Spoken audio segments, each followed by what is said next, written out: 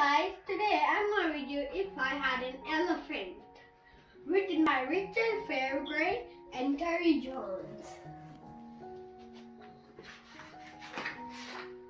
If I had an elephant, I wish I had an elephant. If I had an elephant, I would never have to ask mom for a cookie again. If I had an elephant, we would win every water fight.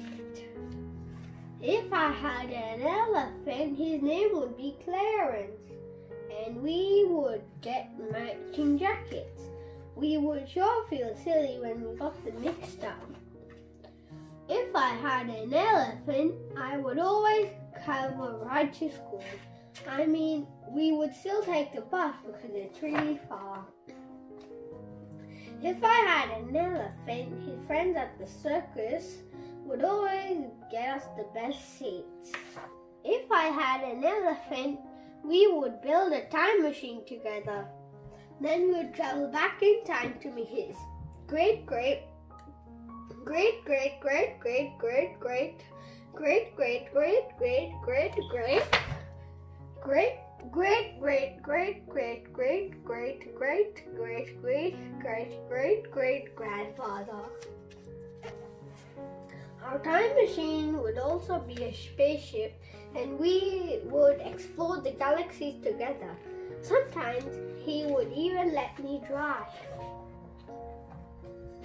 And if we crashed, landed on the far off planet Zillophrax, if I got snatched away, whoa, whoa! By the four-eyed, two-horned, big-tusked Grumplepuff, puff, and if he carried me through the Zillophrax jungle and trapped me on the tallest tower on the highest mountain of all Zillophrax, it would be still okay. Because if I had an elephant, he'd fly there in his hot air balloon.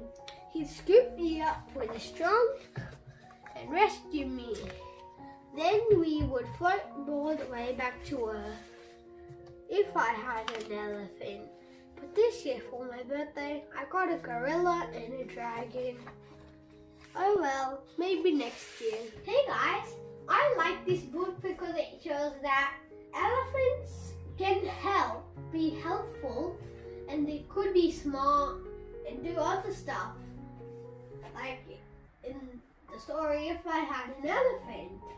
And I realized that it repeated if I had an elephant uh, every page. My favorite part was when he said great, great.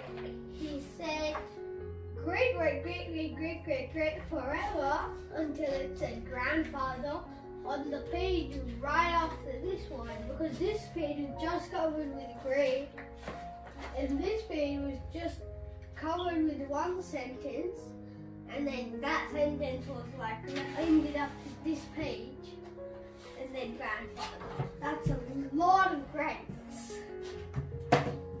Thanks for watching. If you liked this video, like and subscribe. Bye!